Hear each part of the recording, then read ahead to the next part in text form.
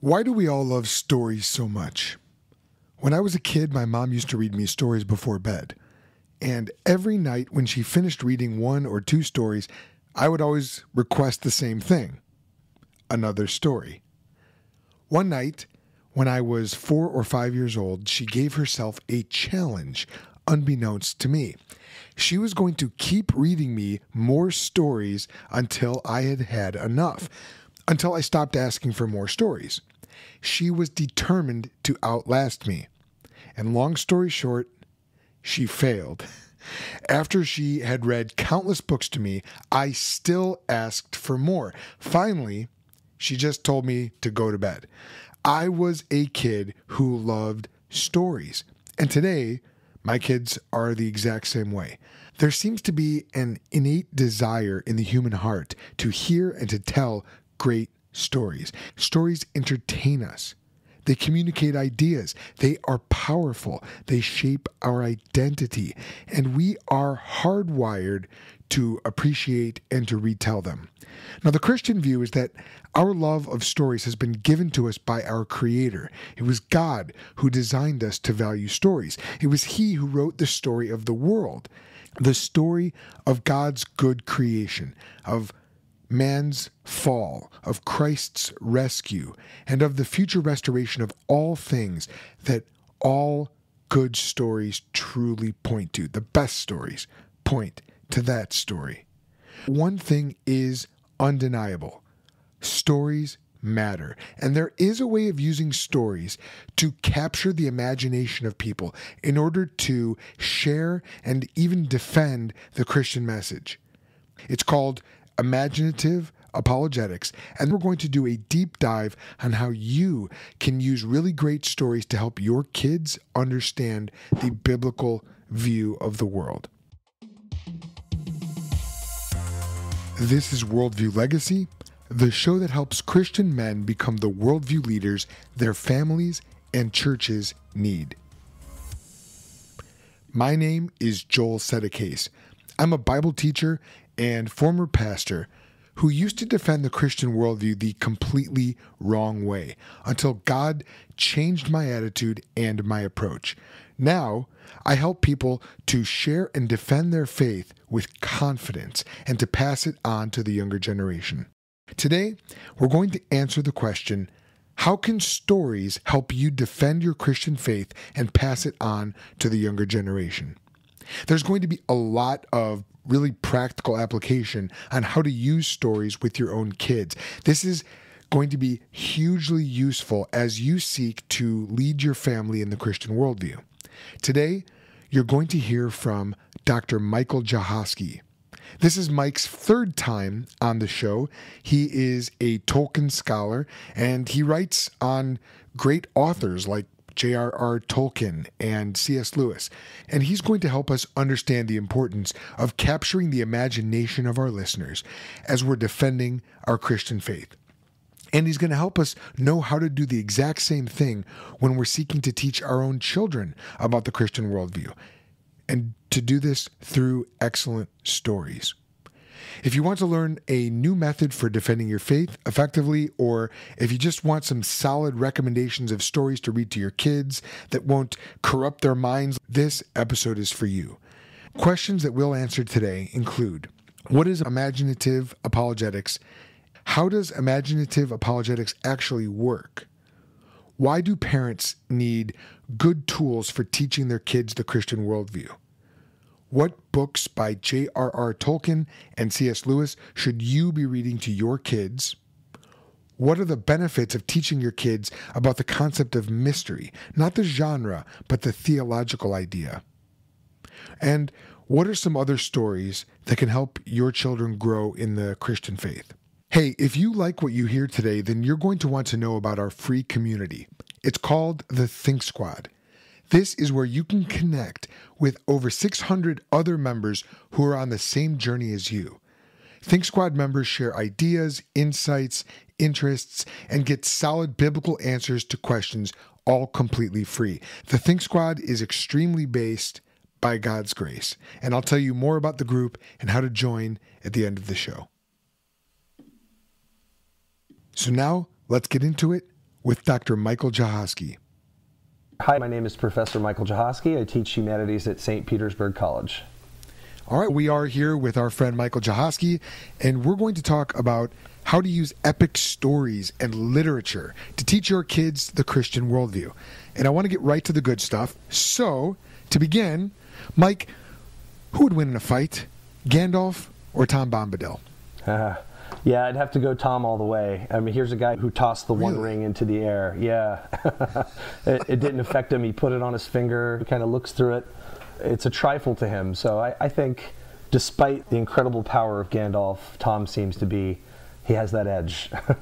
Okay, okay. Well, Yeah. someone you mentioned earlier before we started recording, I think right. would probably agree with you on that. C.R. Wiley, Mhm. who uh, I know you've had on your show, yeah, um, yeah. I've had on mine, and uh, he wrote that book In the House. of, of Tom Bombadil. yes, excellent book and uh, really nice guy.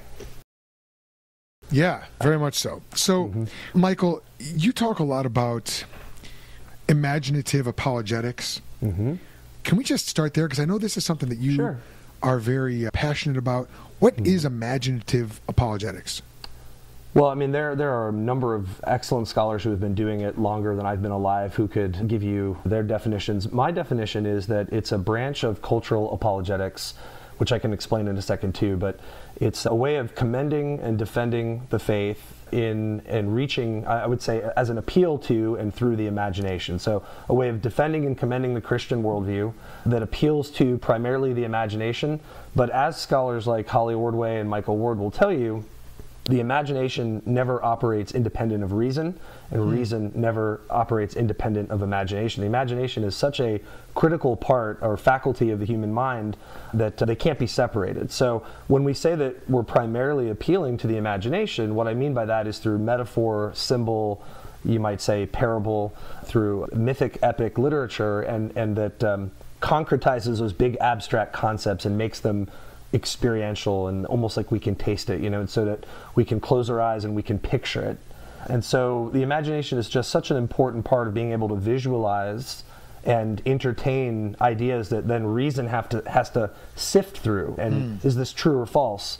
And so it's one that kind of focuses on what we're talking about today about mythic literature and we could say art the visual arts as well and music although in a different kind of sense. But yeah that's what imaginative apologetics is Okay, would you say that imaginative apologetics is compatible with different schools of apologetics? On our show, we talk a lot about presuppositionalism. that's right Would you is imaginative apologetics compatible with presup? I would definitely say so, Joel. I'm not an expert on, on presuppositionalism. I know a little bit about it, so you could correct me on this, but I'm more of a classical apologist in the way I approach it. So, Bill Craig today or C.S. Lewis in the 20th century. I don't think it's incompatible with any school except maybe fideism, you know, really just the one that I could think of that may have still proponents today, but I don't think it's very mainstream. One that just doesn't operate on real seem, seems to operate on reason or even imagination at all. But other than that, yes, I think it's entirely compatible. Uh, and it, in saying that, also doesn't contradict or invalidate the importance of rational or evidential, evidentialist apologetics. And so, yes, the answer is yes. I think so. Okay, when you say fideism, we're talking Yeah. about uh, belief in belief, basically. Right. Belief And- not really grounded in reason or. No logic. reality. It's just a blind faith that uh, is kind of a caricature that many secular opponents, you might say, use to characterize the Christian faith. And yeah, that's what I meant.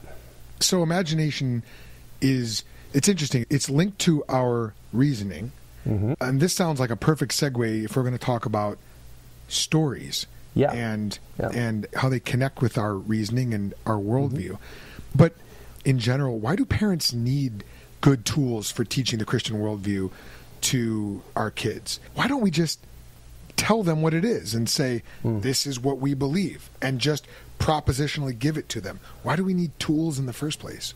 Sure, and that's great. I want to address that. I, I can talk a little bit more about how imagination and reason work together a little later on when we get to the concrete I'd love that. examples. Yeah, so let's come back to that. But I'm glad you asked this question because let me encourage you as a friend and, and any Christian listening that, of course, we need to uh, to, to propositionally announce and teach ourselves and uh, you know brothers and sisters in the faith and our children. And sometimes the direct approach the direct communication approach I'll distinguish between indirect later is needed especially if we need reminders or for memorization. Uh, and so again it, that's we're not throwing that out.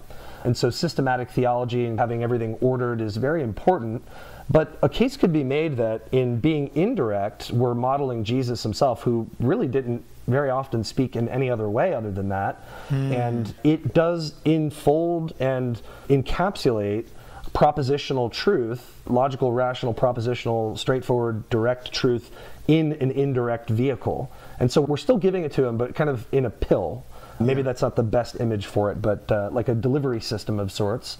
So let me start with that and then i have four brief reasons i like lists i think it's good for mm-hmm. for podcasts and lessons um, so totally. let me go through yeah i think you'll appreciate this and so why do we have to have these tools we'll talk more about story and imagination later um, and uh, and of course this links into that that very topic so number okay. one god through scripture commands that we and I want to focus especially on how dads and moms can teach their kids, but this goes for other examples too. God, through Scripture, commands that we teach, and I'll have examples here in a minute, that we do that. So that's that's the first thing for the Christian. So God in Scripture commands it. So Jesus. God commands us to teach our kids. Absolutely. In fact, let me give Scripture examples after each point, and I won't be able to read them in full. But to hear what comes even to some mind, references, yeah, that'd be good. Yeah. Sure. Okay. Good. Good. Yeah, I'll do that rather than load them on the end. So Deuteronomy four nine through ten, and of course with the Shema Yisrael and, and chapter six verses five through nine about keeping it before us all day and on our doorposts and on our foreheads and mm. constantly inculcating and teaching and and uh, encouraging our children in the ways of the Lord. Proverbs chapter four, which is a great um, like ch- like chapter eight later, a great wisdom tract, and also father listen fathers. Um, I'm sorry, uh, sons listen to your father's instructions. Sure, those are great scriptures for that. Jesus tells us to know the times. That's a second reason. And so we have to communicate to our kids, but we don't do that in a vacuum. We do it in a context. Oh. Two verses in particular come to mind for that. First Chronicles chapter 12, verse 32 where David is uh, he compliments or kind of commends the men of Issachar that they knew what they knew what the times were like. They knew yeah. what was needed for Israel. I um, love that. Actually, I have a in my prayer app. I have a hmm. prayer point in there. May I be like the men of Issachar who yeah. knew the times, understood the times. Yeah, that's such a good short fragment uh, of a verse in there. You got to read it carefully, you'll miss it. Um, and it's so important. But then we see it again, uh, and I'm glad to hear it, Joel, that in Luke chapter 12, verses 54 through 56, uh, where Jesus rails against the, the, the, people of his time about you can tell when it's going to rain, you can tell if it's hot, but you can't interpret me, you can't interpret the times, you don't know the times, uh, which would then imply we need to know the times. So You're right, right. so uh, that's point number two. Uh, point number three, and this goes directly to kids and parents, but Jesus' ministry uh, very explicitly did not exclude children. We have here Matthew chapter 18 verse 3. Be, we have to become like paideia in Greek, like young, like young seven or uh, younger children. I think is what the Greek means. And then Matthew 19 verses 13 through 15. Yeah, that's right. And uh, there, the disciples are trying to prevent the children from coming to Jesus, and he says, "Don't, uh, for for theirs is the kingdom of God, the kingdom of heaven." so clearly Jesus, uh, and he says elsewhere too, doesn't he, Joel, about uh, better for somebody to have a millstone tied around their neck if than to cause one of these little ones who believe in me to stumble. Absolutely, that's right. Mm-hmm. you'll have to help me with that passage, but that that's another important one. I would join to that. Yeah, I want to say that's in Mark, but continue, please. Yeah, thanks. I couldn't track it down. Um, so obviously, th- the third point is the importance of children. Fourthly, and finally, Jesus, and this is a point I make throughout my book, Matthew 18, 6. Sorry oh, to interrupt. 18, 6. No, not at all. That's uh, three verses after, yeah. Okay, and then Mark 9:42 as well. Mark 9:42. Okay, great. Thank you. Lastly, I would say that Jesus himself, in being who he is, models what not only what we need to say, but how we need to say it. So Holly Ordway, I, I love it when she put this in her book, that the incarnation is a, as much a model for what we say in substance or content in our apologetics and our teaching, but also in how we say it. And that is supremely important. The incarnation itself is an example of indirect communication. What could be more paradoxical than the union of God and man?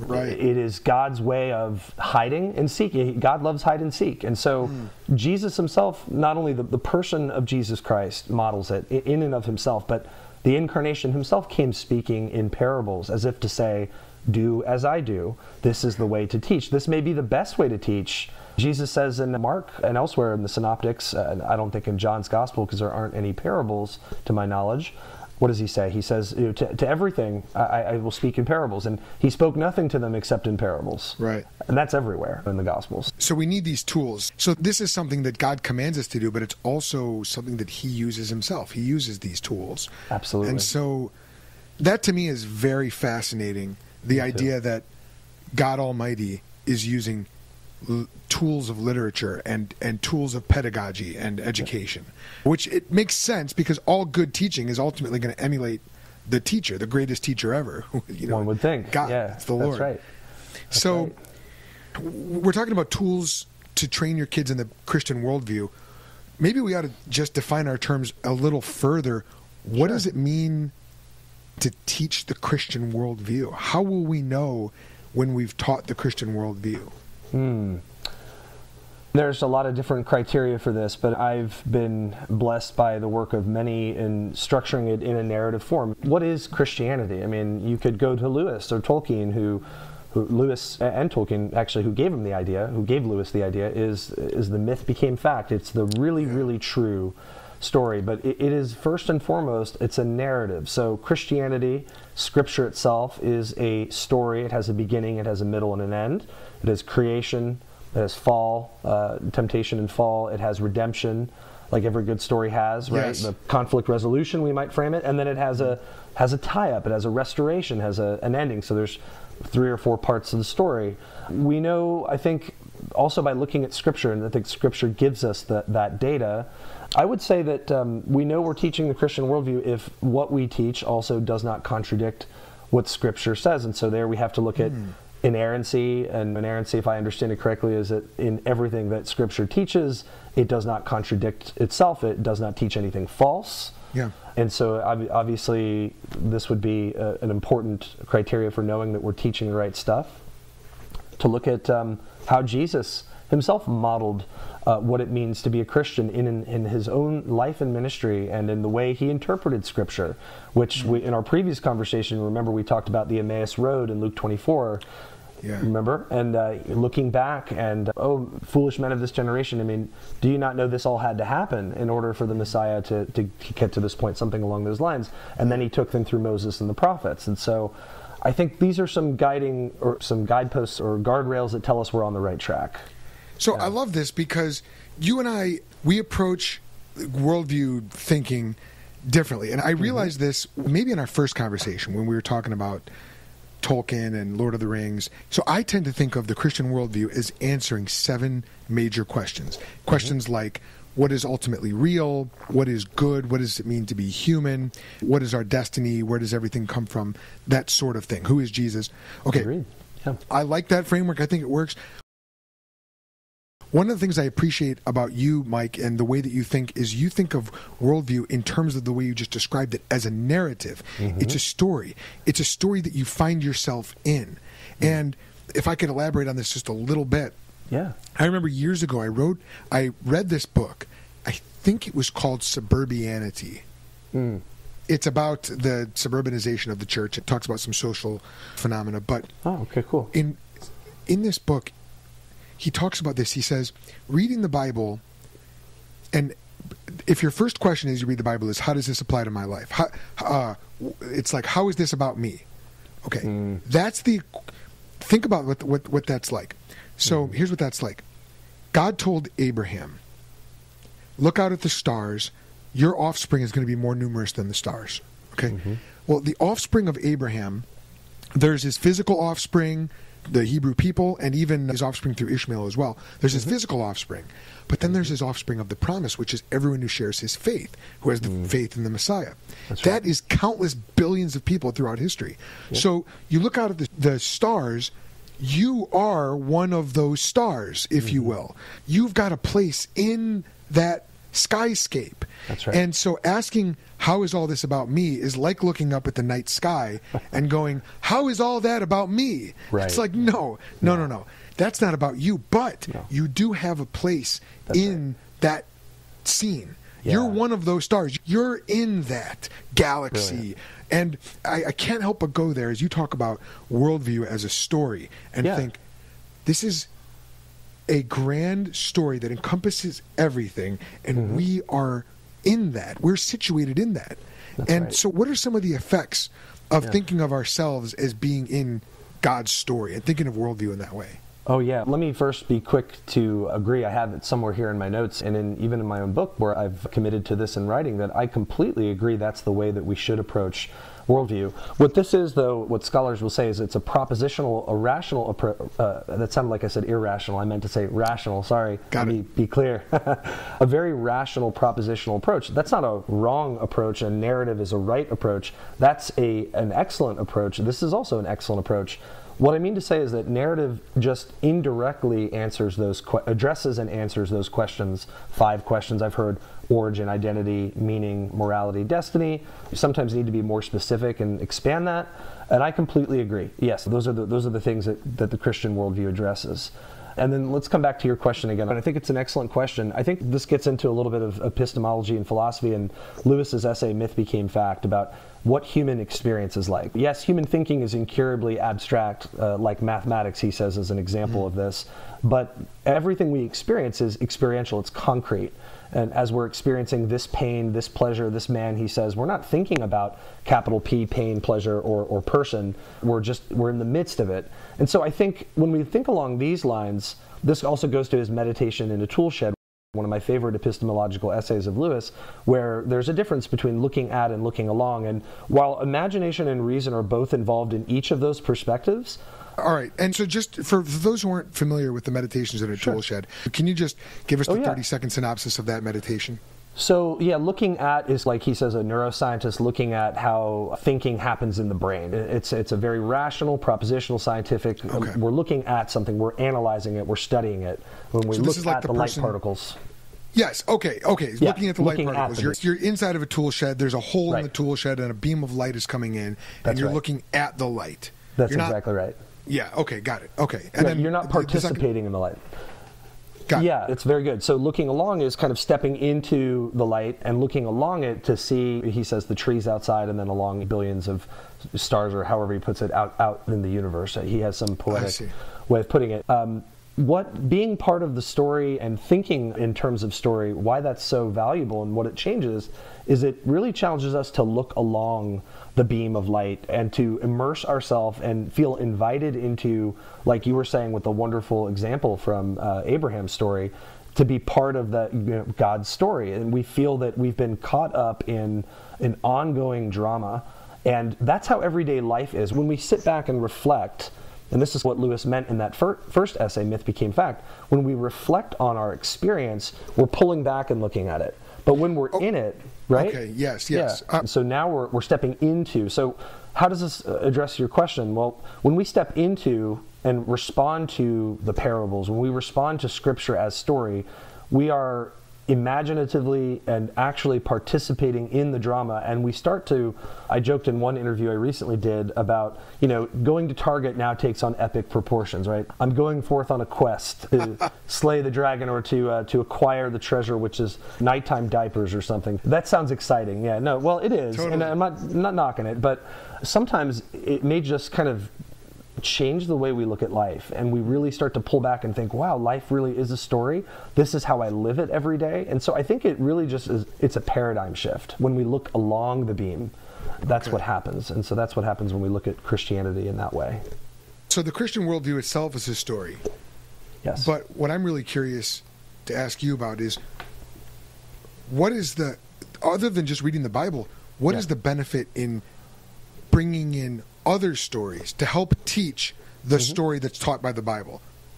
What's the value Yeah. of stories as a worldview teaching tool for our kids? Well, I, I would start first again with Scripture, and that Scripture itself and that Christ Himself um, uh, really confirms that the Bible is our touchstone for truth. It must always be our ultimate standard. Uh, Christ said that it testifies about Him, but it doesn't say that it's the monopoly on truth. God has scattered types of Himself and fragments of Himself in a million places, and and that we uh, we find it focused in the Bible. It must always be our touchstone. But you think of Christ speaking, I think in John chapter nine to the Greeks. It may not be chapter nine or chapter twelve. It's uh, it's in there somewhere, and. Uh, uh, you think of Paul on Mars Hill in the Areopagus in Acts 17. I know that one. Mm-hmm. Um, and you even think of the Magi story. Other cultures have a share, not a complete revelation, but they have a share uh, or a fragmentary glimpse of the com- total and complete truth that is in Christ and Scripture, where everything's come into focus. And so Jesus and Scripture seem to say, well, you're not going to get the full revelation, you're not going to get the complete truth looking elsewhere, but there is value, there is truth, goodness, and beauty to f- be found in other stories. Now, of mm. course, when you think of Lewis and Tolkien, we know that they were Christian men of faith and that um, we go back and listen to our previous talks about whether it was intentionally and what that means. But to keep it simple, they wrote Christian stories. That much yeah. is true. How they did it is another question, but that's an easy sell because these are men who, whose minds were soaked with Scripture. And so we should be able to trust that this is going to be an easy way to say it's not going to contradict Scripture. But I, I would just say that, too, that there's value in, and just going even back to Genesis 1, that and you look at scripture as a story and it seems that one thing god constantly is is he's a storyteller. He loves to play hide and seek. He, he seems to have given all of his imagers, and which we all are, Genesis 1 26 and 7, the ability to make and create stories to reach out to him. Now, he had to disclose the full story to, to complete our gropings, but um, we, we love to tell stories, and so God seems to be inviting us to do that, and that there's value in being his imagers, that we are like him storytellers. Mm. And so hmm. he's almost encouraging that. Now, it can go very wrong, and we've seen it go wrong. Uh, yeah, uh, sure. Let's well, and, make sure we point that out. Yeah. Yeah, and even guys whose minds are saturated with Scripture, they're still fallen humans. So Absolutely. we still have to test everything against Scripture. Absolutely. Would you agree? I would. Nobody, nobody except Christ is perfect. That's right. That's yeah. right. So, yeah, so always a good rule of thumb. Okay, so here's one thing that I did want to ask you. Yeah. What is the story of how you learned the value of stories in mm. teaching the Christian worldview?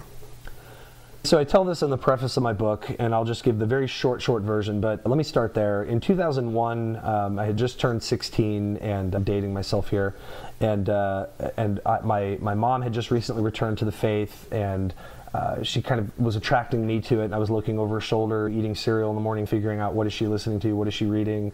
We had I'd grown up nominally Catholic, and then it's not really when I discovered this, but shortly thereafter, my brother Chris started reading me The Lord of the Rings. Then the first movie came out, and I think looking back, I realized that was the moment when it started to, as an answer to your question, when the importance of stories and teaching through stories and understanding Scripture through story, and as a story started to take root but it wasn't until after years and years of high school, undergrad, graduate school, becoming an adjunct, then becoming a full time professor, and still professionally development, and all these years of wrestling with what it means to be a Christian, I still am wrestling with it.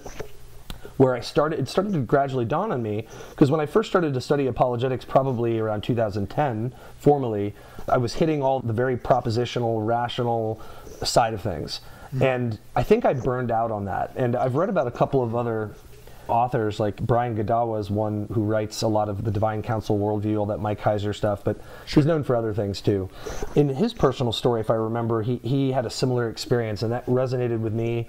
And I don't know exactly when it was, but sometime between 2010 and just a few years ago, maybe like 2017 or somewhere around there. I, I don't know for sure, Joel, but it just started to dawn on me that there was something I was missing. I wasn't nourishing my imagination, and therefore I was also neglecting my heart and my emotions, and I wasn't balanced, and I felt out of whack, and I felt like I knew my stuff, I knew the doctrines, I knew this, I could have a good argument with people, but something just I felt like I had blown a fuse inside. Hmm. And so that's what was the catalyst to start digging into cultural and imaginative apologetics, for example. That's man, that's really interesting. How, cool of Thanks. God to use your burnout yeah. to bring you to this point where now this is such a huge part of what you teach and do. Yep. And yep. something Amen. occurred to me mm-hmm. that I wanted to ask you about. And that okay, so that is. It seems to me like the non-Christian world also understands the importance of story and teaching, not Mm-hmm. just telling a good story, but in teaching ideas. Oh, can yeah. you? I know. I'm putting you on the spot here, Mike, but Yeah. can you think of any examples from culture where they're Mm-hmm. using stories in order to communicate ideas that aren't biblical, that aren't true? Oof. Oh yeah. Uh, sure. I have specific lot of them. examples. Yeah. Well, we we both know as parents too. There's a lot of them. First, let me say, of course, going back to being God's imagers, part of what that means, aside from it being a status that you know is a ground for human rights and among a number of other very important things, Mm-hmm. I believe that Scripture, the rest of Scripture, reveals that God is a storyteller, and that if He's a storyteller, we're storytellers. And so, obviously, Mm-hmm. the natural logical you know inference here would be that it follows that everyone is going to be prone to telling stories. Alister E. McGrath, in his book Narrative Apologetics, talks about this, and he cites a lot of sociological research and anthropological research. The book is called Narrative Apologetics, and he's got a big footnote on it very early in his book. Like, look at all these authors who have done research about addressing your question. Where can we see uh, other people outside of the church uh, being drawn to stories as a method for teaching? Okay, so there's that.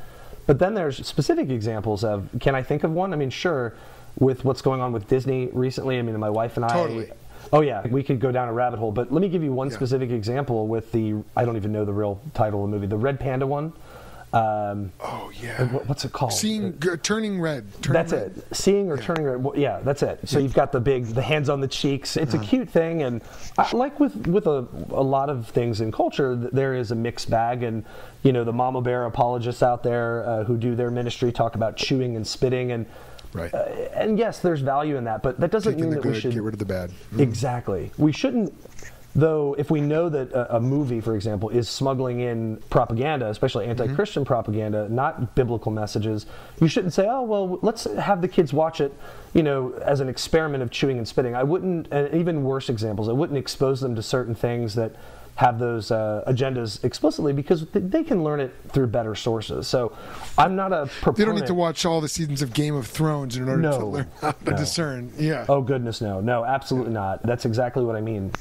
Yeah. But uh, we still need to teach them to be discerning, of course. But That's good. yeah, I, I would say that that's a specific example, and there are subtle images about being a young girl and letting feelings dictate truth. And Right. as we watched it, and then Annabelle, our youngest, uh, our five-year-old daughter, started to.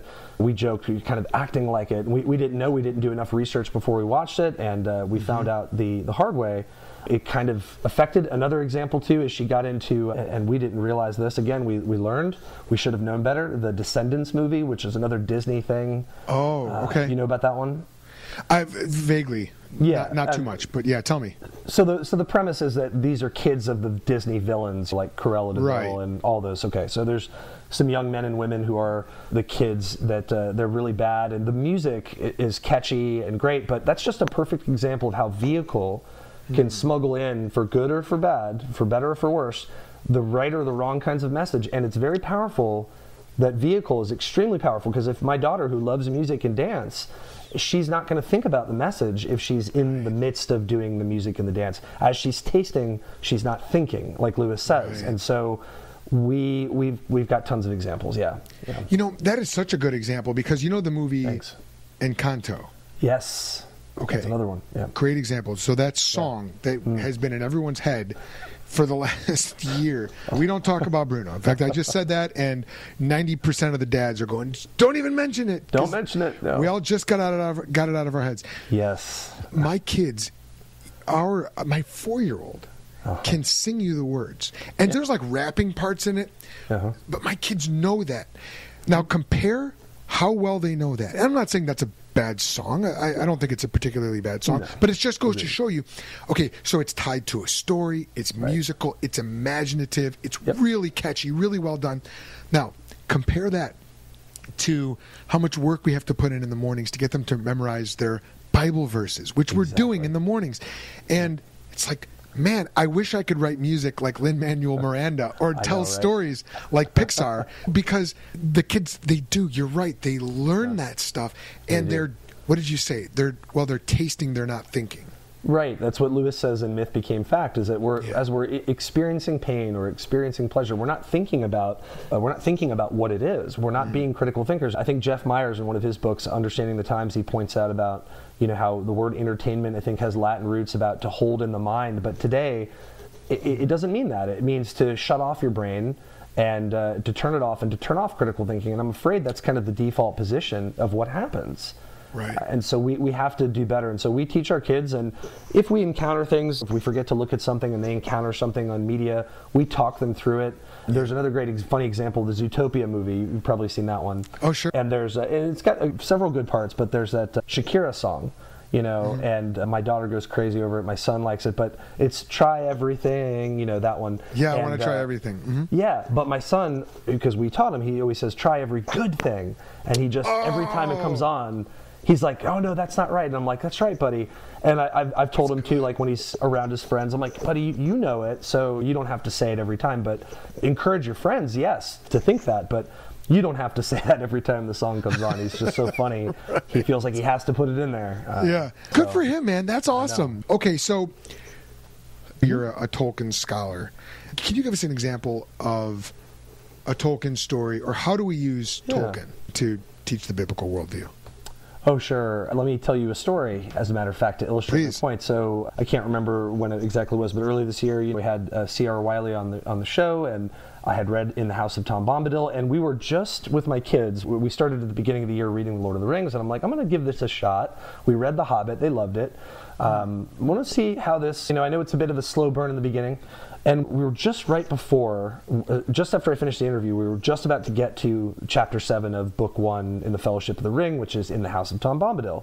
So I'm like, oh, this is going to be great. And I've got sublimated all of this stuff I learned from Wiley's book. And I was so eager to share it with the kids, but I, I, I didn't want to narrate. I didn't want to get in there and insert my propositional, oh, there's the tree and the tomb, and don't you see it? And I wanted to just go crazy, but I didn't. And I just read the story, I did the voices. I, I read it to them, and I got to tell you, Joel, they were so enchanted as they were listening. And my daughter, just yesterday, I asked her, I said, What was your favorite part of Lord of the Rings so far? We're in the Council of Elrond now. And she said, Oh, I love Tom Bombadil's house. There's food, there's Goldenberry, even though it's Goldberry, she calls her Goldenberry. Goldenberry. And, uh, yeah, I love it. Like, and Tom Bombadil, and I'm like, No, no, it's Bombadil. Oh, you know what? Just, that's so cute. Just say it the way you want to. Bombadil, go with it. Yeah. I love it. I love it. Go ahead, honey. And, and I'm like, so tell me why that's your favorite. She's going on about the food, and they're singing, and there's hot baths, and there's Goldenberry, and I'm like, wow, images, right? The kids have fixated on this, and these are such good images for Christ and the kingdom. And so I want to use that as an example, and I want to give you kind of like a theme about what in the house of Tom Bombadil, that chapter, and just Tom and Goldberry uh, themselves, and that whole part of the story can teach us and uh, teach our kids. Cool. Now, once we finished the story, we got to Fog on the Barrow Downs, and they got attacked by the Barrow-wights, which is not in the movies, which is the next chapter, and they loved it. And backing up though, back in the the chapter in the House of Tom Bombadil, as I was reading, I could not only just see them, the gears were turning, but uh, there was an early part in the chapter where Frodo asks Goldberry, I think first, who, who is who is he? You know, a lady. Who is Tom? And I think she says at first, well, he is. And I'm like, oh, that's peculiar. As I read it, I'm like, oh, Lucas is gonna, his eyebrows gonna go up. And lo and behold, he did. He's like, huh. And I could see this quizzical look on his face, uh, but this he was contemplating. And as I kept reading, there's another part where Frodo asks Tom directly, uh, or Goldberry again. And at one point, I think Tom no later says literally, "I am," or "I am," uh, almost like what Christ said, "I am He," right? And at that moment, I can't remember the sequence of the chapter. Lucas was like, "Hey." That's like that's like the Moses. That's like God, and he just started spitting out stuff, and I'm like, wow, he gets it. I was just so impressed because we've been catechizing our kids, and as I told you, we use as one of the sources your catechids book and teaching them about scripture and the story. And so he'd already known about this, obviously. So that was just an exciting moment for me and Sarah as parents. But what I learned myself about this story and how what can we use this story to teach our kids and no for the people listening i'm not suggesting that we should just look at tolkien as a, a machine that we should spit out biblical lessons. That's not how i approach it in my book. Right. but there is something that can be learned and there are many things that can be learned. What can be learned? I think here is a great way to introduce your kids to mystery. Now, a lot of people outside the church caricaturize mystery as uh, something that, gee, we can't figure out, so we'll just slap the term mystery on it. Yeah. That's not what mystery is. Uh, you go to the Greek, and it's something that is hidden but yet to be disclosed. It's not something that can always be fathomed comprehensively by human reason. And if the assumption isn't that human reason is the be all end all, then that is a humbling thought and it's an encouraging thought. Mm. And so mystery is something that it clearly can't be fully comprehended by reason. It's not irrational. That's what we always think of as mystery. It's non rational. And that's a totally different way of putting it, I think, to mm. our opponents too. Uh, people who would take issue with this, this understanding. It's not irrational, it's non rational. Tom is a mystery. And so it was a great opportunity for us to teach our kids about the doctrines of the faith and how Christ is a mystery. That doesn't mean we don't know who he is, but look at how he talked about who he is. He didn't do it directly, he spoke in hmm. parables. And Tolkien seems to be kind of weaving his own spell here through parable. And so it was an opportunity to teach our kids the right understanding of mystery and to like, well, what specific examples, what images popped out to you that that made you kind of scratch your head, or I forget how I put it. It was something like that, hmm. and they went for it. As, as great as any eight and five year old can, better than, than right. I was at eight or five. Let me tell you. Sure. So that's that's my first example. That's great. Okay, so yeah. you're talking about mystery. I'm thinking, man, there's plenty of mysteries about the Lord that I don't have figured out. The Trinity comes to mind. Oh yeah. How God is one and God is three. Yep. Okay, so that's very cool. And now, how about Lewis? How about C.S. Lewis? Oh yeah, there's so many great opportunities. So I picked one from each, and the one that I just gravitated again because I wanted to give you concrete examples from my mm-hmm. own life as a dad. Um, and I thought, well, what did we finish reading? We just started The Silver Chair. Years ago, when we started reading the Narniad, we didn't read it in the the right order, the order of publication, I think it is, where you start with Lion, Witch, and the Wardrobe. We did it in chronological order. I think you know my son is mature enough; he understands that we're going to restart it in a, in a, you know when we finish it from the right way to see how it's different. Okay. Um, people put a lot of faith in how you read the, the Narniad, but just sorry, real recently, quick, let me interrupt you. Sure. When you say the Narniad, you're talking about the Chronicles of Narnia. The, that's the that's right. Of, the, the body of, which I love that name for it, but yeah. I don't know if our, our listener had heard that. Thank before, you so, for yes. yes. Sorry about no the problem. jargon. Yes, that's very important. Okay. So the Narniad is one of the abbreviations that scholars use for the seven books called The Chronicles of Narnia uh, by C.S. Lewis. Uh, you're written in the 1940s and 50s. That's right. Okay, um, so so please continue. Yeah, no, no, no problem. So the family and I just recently finished The Voyage of the Dawn Treader. And I, I, just mentioned that little preface because people were like, "Oh, well, what?" They might be wondering, you know, what order did you read the books in? And I know some of my friends might be listening who will jump on me. Oh yeah, yeah. There's some sticklers for sure. Oh uh-huh. yeah, I know a few, and I love them. So anyway, Voyage of the Dawn Treader has, like uh, in the book before it, Prince Caspian, a great character, Reepicheep the mouse, and he's a warrior mouse. He's a, he's a knight. And uh, some of us might know him even from the, the motion picture films and, and love the way that he was embodied and incarnated in the film. I think it was hit or miss, but it, pretty decent. And the the thing that really just came to me is my kids just loved the the whole idea of a talking mouse and they loved how serious he was and he was loyal and he was brave and he was devoted and in the voyage of the Dawn Treader you know, there's that uh, that rhyme. For those of you that don't know, towards the beginning of the book, when the kids enter Narnia again, um, they're on the boat, and we find out that that Reepicheep is looking for Aslan's country. And just hearing that, my kids kind of perked up, like, "Oh, what's Aslan's country?" And I imagine images started going through their mind, and I'm like, "Oh, this is going to be good." And so Reepicheep shares that a dryad woman had. Uh, said this verse over his cradle as a, as a baby mouse that um, what is it? Where sky and water meet, where the waves grow sweet, doubt not, Reepicheep to find all you seek. There is the utter east. And he says, I do not know what it means, but the spell of it has been on me all my life.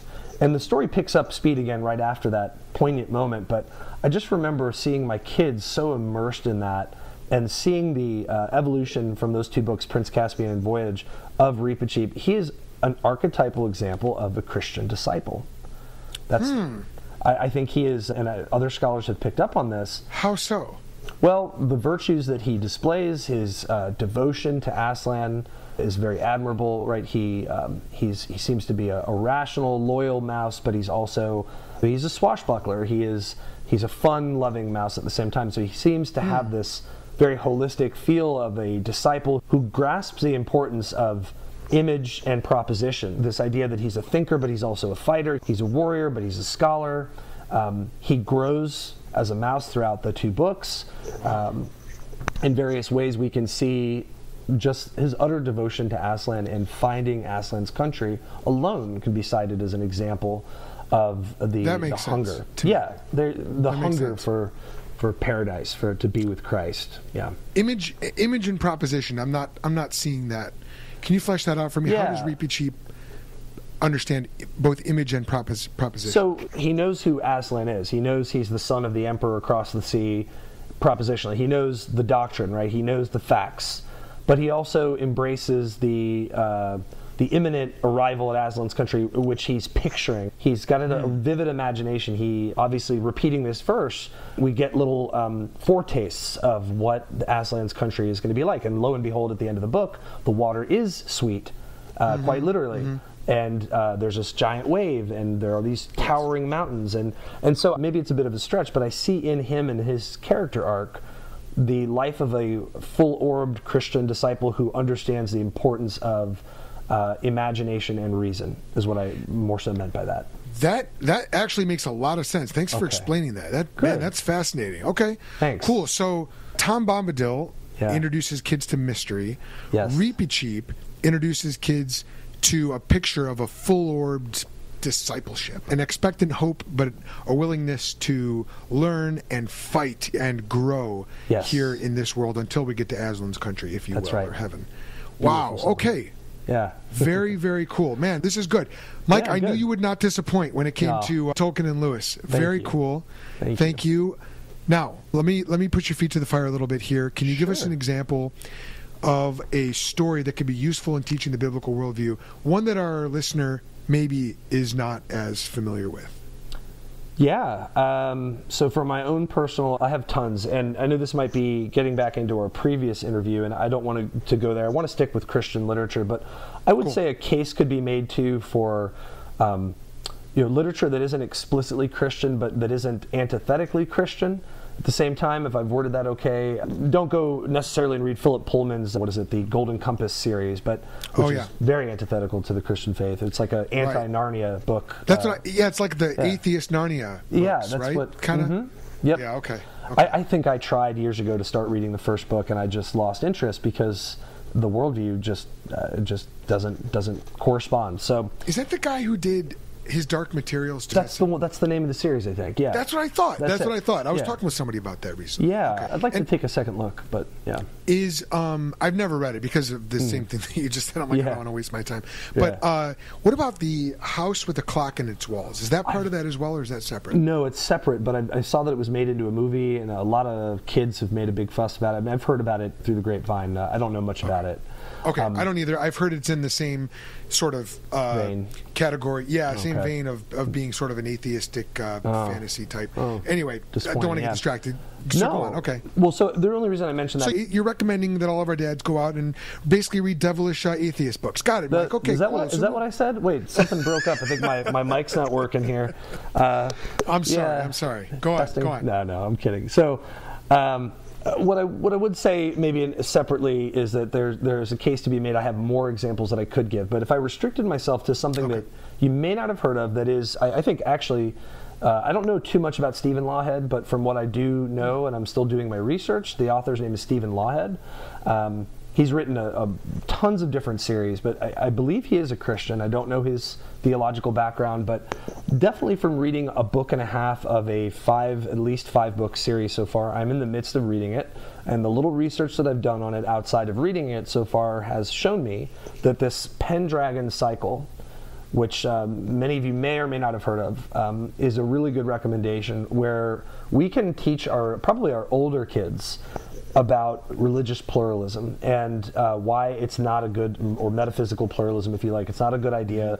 Why we can bring in Lewis's argument for myth and the stuff that we've talked about before, and how there's a better way of looking at it. that still maintains Christian teaching. But what, I, what I'm trying to say here is that this is a book where we see a clash of worldviews and universes. We have pagan Atlantis.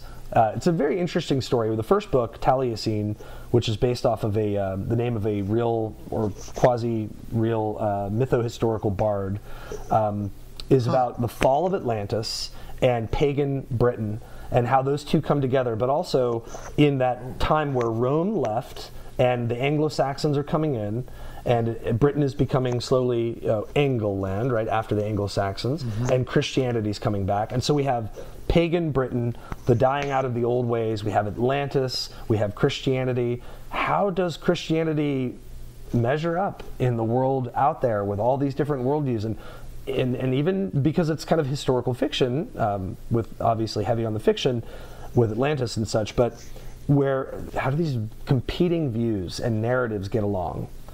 Well, let me stop you right there because sure. are you saying that Stephen Lawhead in his book actually gets into these things like oh yeah. Christ- oh yeah. christianity is a specific explicit part of the story let me yeah let me elaborate just a little bit more because it's okay. very fascinating so this first book taliesin um, t-a-l-i-e-s-i-n taliesin the second okay. book is called merlin the third book is called arthur fourth hmm. book is pendragon and the fifth book is called grail i think okay yeah because pendragon is another name for king arthur Yes, He's it's like a title. That's right. And I think Uther. So you know, there's different variations of the myth of Arthur mm-hmm. and Merlin. That sounds fascinating. What, it what, is. what would be what would be one of the insights um, directly relevant to like the biblical worldview? Oh, sure. Um, that that you've picked up or mm-hmm. that you think you know our listener could pick up. Really big, uh, overt references to creation, fall, redemption, restoration. I mean, the, just the whole first part of the book, oh yeah, is about the fall of Atlantis. And so here's another detail. Again, I don't want to spoil too much, but Charis, the daughter of Atlantis, you see the fall of Atlantis.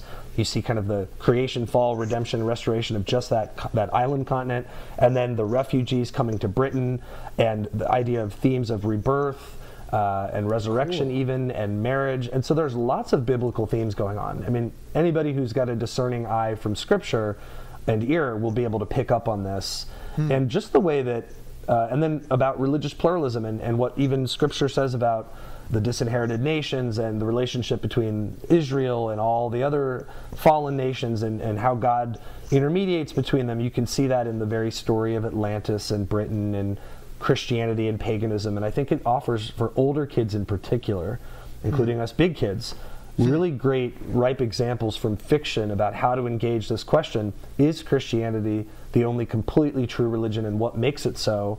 And how can we argue that? And what does that mean for the other ones? Are they all devilish and evil and wasteful? I mean, what does it mean? You know? Yeah, it sounds like it really does connect up to some big ideas. It does. So, what is one next step that a dad can take to begin integrating stories, even some of the stories that you've yeah. mentioned here today, into the discipleship and worldview training of his kids? Well, I would first recommend that you just do it. Um, just like hmm. Proverbs tells us, get wisdom, get insight. Just, just get it, man. Just start reading to your kids if you're not reading them good Christian right literature or literature that isn't hatefully destructively anti Christian, I would be very cautious and discerning. Make sure you measure it up to Scripture and, and to what Christ is and, and who He is. Um, that would be my first piece of advice. It's just there's just so many dads that I hear uh, and, and that I observe just don't seem to read to their kids and I know some that do, and uh, I'm, I'm, blessed to know a couple nearby that uh, really always sharing articles about this. So it seems to be the general piece of advice first is just make sure you're reading to your kids, and the more you do it, the more you're going to want to do it.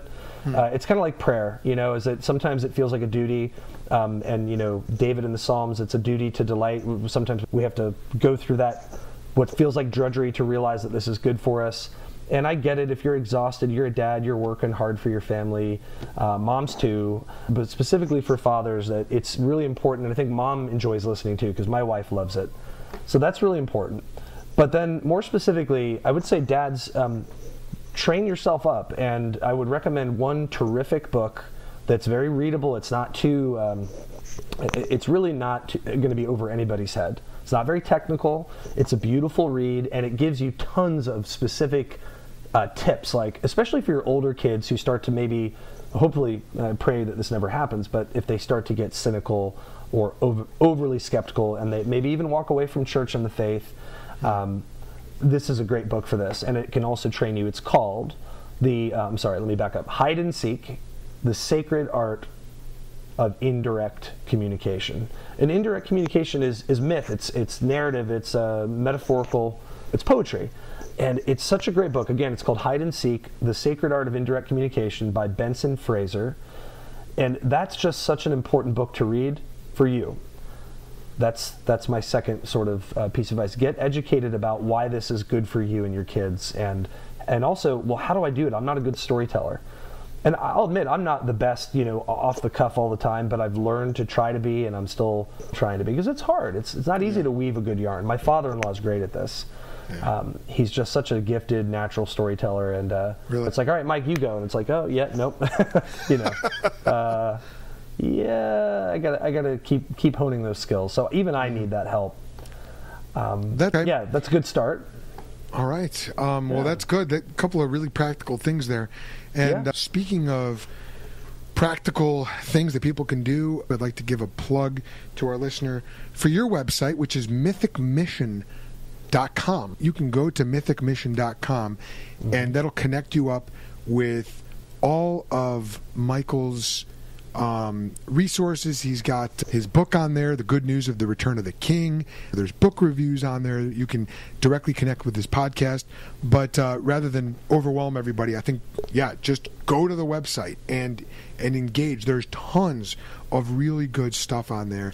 And there's even a way they can support you through Patreon too. Mm-hmm. That way, correct? If you want to support our ministry, um, even right now, we're running a, uh, a, free class on imaginative apologetics for folks. That there's yeah. information about that. that. But uh, mm-hmm. yeah, we'll do stuff like this from time to time, and um, that's how we're doing our ministry through the podcast, through classes, through you know meet and greets on Facebook. Um, if you if you subscribe to Patreon, you'll get an invitation uh, automatically to that group, and so yada yada. The website has it all. Yeah. Fantastic. All right. Well, you heard it. Go check out mythicmission.com. Connect up with Michael Jahosky's work and um, enjoy, and you'll get a lot from it. All right, sir. Well, thank you again. Always appreciate appreciate your work. Appreciate you coming on, man. Thank you again. It was a pleasure to be on. Thank you.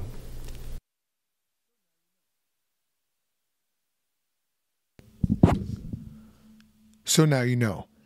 Imaginative apologetics is a method of defending the Christian faith by appealing to the imagination through myth and parable. In other words, stories, as a way of making important ideas concrete and giving the person an experience of the idea, letting them taste it. Why is it important? Because, as Michael pointed out, the imagination never operates independently of our reasoning, and vice versa. Why do we need to use good tools in discipling our kids? Because God commands it, because the times call for it, and because Jesus modeled it for us. We can use books like The Hobbit and the Chronicles of Narnia books to capture our children's imagination and to help them develop good mental pictures of Christ and his kingdom. Teaching your children the benefit of mystery can help them comprehend the incomprehensible, and these stories can help you do that.